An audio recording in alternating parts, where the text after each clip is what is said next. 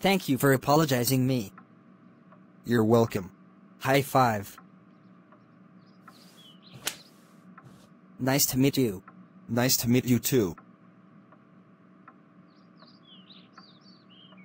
Can I change outfits like every single month? Sure.